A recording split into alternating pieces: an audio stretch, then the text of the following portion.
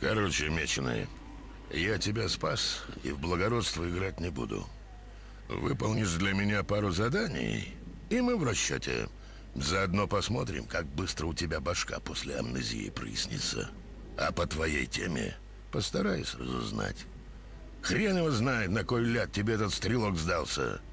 Но я в чужие дела не лезу. Хочешь убить, значит, есть за что. Ну, что стоишь? Подходи, я не кусаюсь. Всех приветствую, с вами Александр. Давно я не сталкерил. Решил посмотреть э, build слитой модификации АМК-2 от известного разработчика, можно сказать, родоначальника модостроения АМК. Вроде даже это как играбельный build.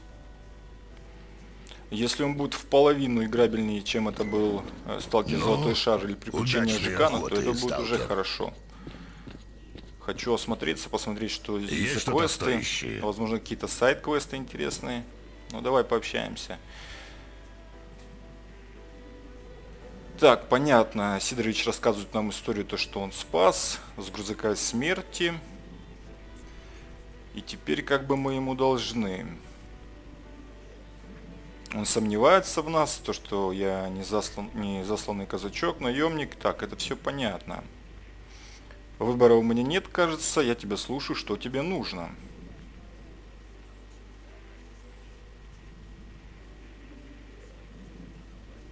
Он заказал э, э новичку-сталкеру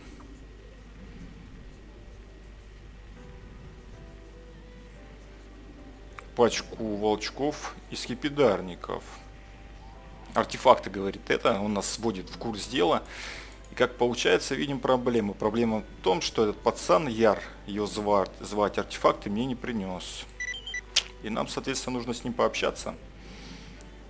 Так, он нам предлагает э, взять на данный момент свой старый сталкерский комбинезон или отдать нам кожаную куртку. Я выберу сталкерский комбинезон. Так, а оружие не подкинешь нам немного? Сдурел что ли? Мы не в боевике чтобы всех крошить подряд. Э, разговором надо дело решить. Так, ну действительно. До встречи по торговле, что у тебя? По торговле, естественно, у Сидоровича все забито.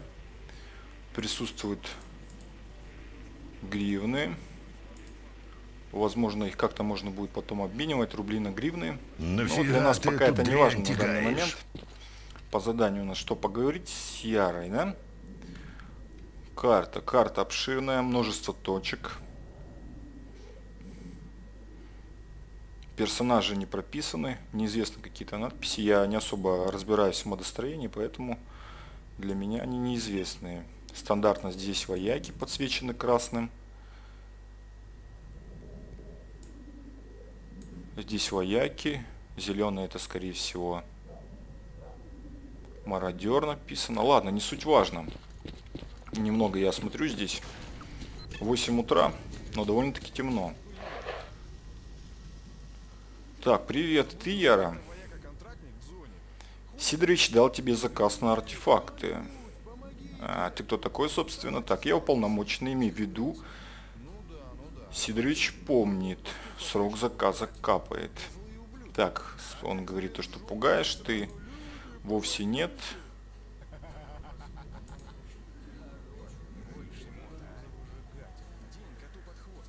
Он пытается нас, нам угрожать и нашел. Я-то ему сказал, и тебе говорю. А ты возвращайся, говорит, к своему Сидоровичу. Ты смотри, какой грозный, короче. Полчаса тебе на подумать. А я пока схожу. Куда ты меня послал? А, он нас послал именно в аномальных полях найти. Ну, давай попробуем.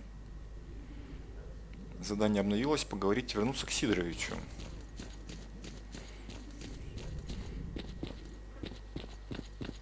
Пробовал я, конечно, вариант второго диалога. Тогда этот я распускается сюда в подвал. Беседует с Сидоровичем, у них тут какие-то терки, как я понял. Но он здесь, а именно конкретно здесь замирает Яра. И, и мне не удается поговорить с Сидоровичем. Поэтому я выбрал этот диалог. Я побеседовал с Ярой. Да, поговорили. Парень в мертвую молчит. Значит, судьба у него такая. Подсобишь. Чего? Ну, в мертвую яра гниль тут, а гнили я первое место не допускаю. Вырезать его нужно. Ты чего загадками говоришь? Басню прочти еще. Диалоги немного как-то построены странно. Да ты тупой меченый, короче, дам тебе ствол. Э, выведешь Яру из деревни, лучше к мостику. Там по, дорог, э, по дорога есть такой, там его упокоишь. И другую немного, и пушка у тебя будет своя. Согласен, давай ствол. Извини, но я на мокруху не подписывался. Хорошо, если такой вариант диалога. Э, извини, серьезной награды тебе не будет. Держи. Держи полопать. А балакать я о погоде не могу. Да и хрен с тобой, с тебя хоть шерсти клок. Да, действительно. Насчет работы какой. Я передумал. Так, я передумал пока рано. Посмотрю, что он нам дал. Э, ну, это тупо банка тушенки. Хотя, в принципе, почему она может пригодиться.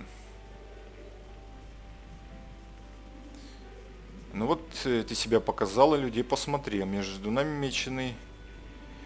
Не все покладистые, с большинство местных это не люди, а волки. Зверё глотки друг другу так рвут. Насчет волков. Есть здесь сталкер один бывалый. Его волком зовут, он заправляет лагерем новичков. Такой весь моральный хихе. Он же вместе с приятелем помогает новичкам пересечь периметр в районе болот и привыкнуть к здешним условиям. Короче, если с кем-то типа по первости надо перетереть, так лучше с ним. Он еще никого не кидал. А что конкретно у него за работа? Тебе сейчас какая разница? А, хоть и замочить кое-кого, ну, можно подумать в новинку. Зона вся на крови стоит, учти.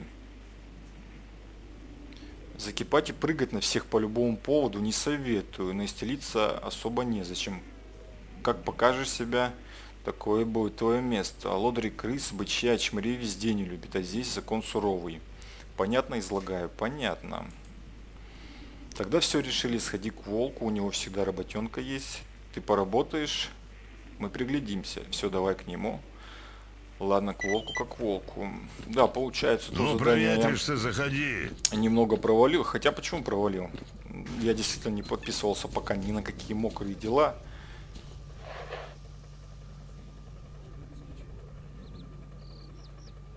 Есть еще информация у Яра. Не подскажешь, сколько рублей Сидор за волчок, например, платит? Каких рублей? Ну а что, в зоне ведь не доллар, правда же? Да нет, конечно, тут из денег только раки в обороте. Ты чего, не знаешь? Очень смешно, я такой юмор, юмор не очень люблю. Я не шучу, слушай, в зоне действует некий синдикат, его конторы называют. Это какое-то криминально-подпольное отделение торговцев оружия. Я сам еще особо не в курсе. Знаю, что после взрыва в зоне осталось много медикаментов и всего такого прочего. Так что торговцы допускают э, к обороту зоны торговцев продовольствием, медикаментами, однако только под крышей конторы, при строгом э, взыскании сопутствующих процентов от выручки. Что за чушь, брат?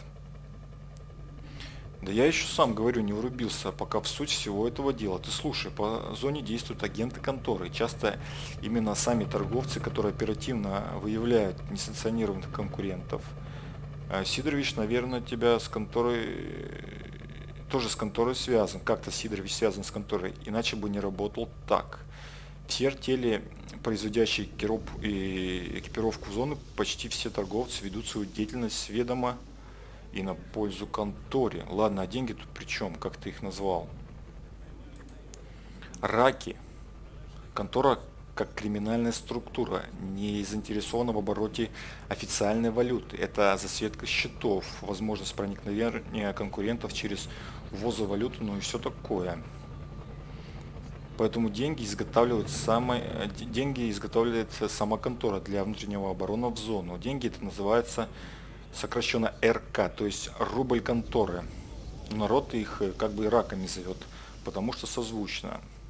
Ну еще они цвета красного. Логично. Я же все-таки ни хера не понимаю, что это за деньги и чем они защищены.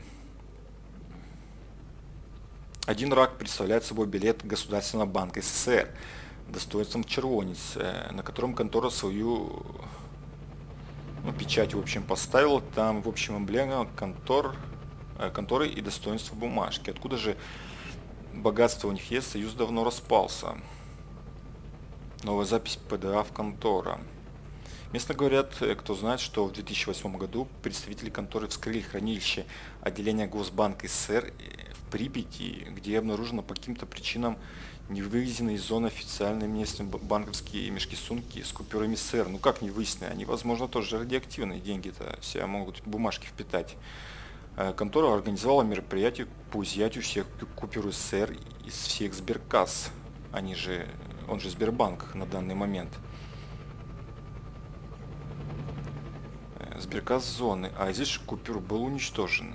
Так местные говорят. Ну да, то есть, чтобы кто попал, а не мог все равно странно. Слушай, а рубли они все же берут по-прежнему?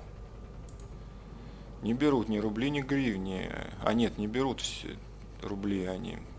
Не тугрик, с этим вообще строго. Говорю же, за попытку оборота настоящими валютами могут пришить. Так что я говорю тебе, будь осторожен. Спасибо. Вот не порешили мы. Яро, нам интереснейшую информацию слил о некой конторе. Такого я еще в сюжете лично я не видел. Возможно, встречали где-то. Я насчет работы. Я передумал. Да, бывай. Ну, проветришься, заходи. На данный момент в, этом, в этой модификации присутствует своя валюта, РК. Место называют Ираки. И, возможно, возможно, мы еще встретимся с этой конторой. Так, волк у нас находится не на своем месте, как в оригинальной игре.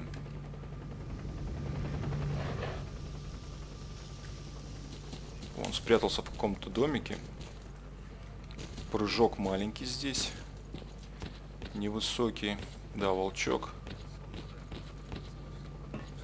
У меня даже ножа нет, поэтому я не смогу вскрыть ящики. Это наше снаряжение. Так, здорово, очухался как-никак. Так, имя-то у тебя есть? Не помню ни хера, Сидорович Мичина назвал. Кстати он, э, кстати, он говорил, что ты можешь мне работенку некую подкинуть. Ну, как сказать, работенку, скорее небольшое поручение, услугу. Есть несколько э, довольно пыльных, но зато безопасных дел. Все через это проходят. Побегаешь пока, поднакопишь деньжат, знакомых заведешь, а потом, потом уже пустишься по своим делам, если захочешь. Ладно, что делать? Я тут разведчиков послал в дело.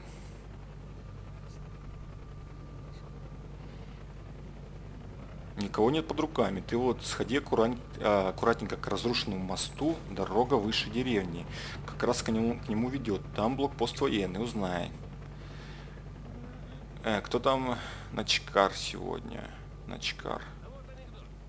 Начальник караула. Вертушки летают, похоже, что рейд. Там может быть э, там э, что-то перекрыто и наши застряли.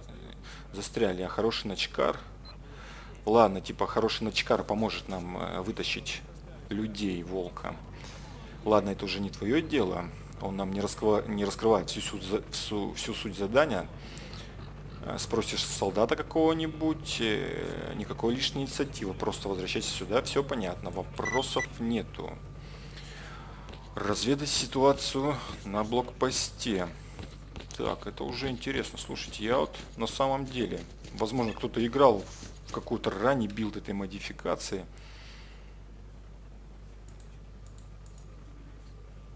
Я не играл, и поэтому я таких заданий не встречал. Да, скорее всего нам придется к мосту пробираться, но я думаю на данный момент пока закончить. И возможно я побегу, если это будет интересно, я скорее всего продолжу.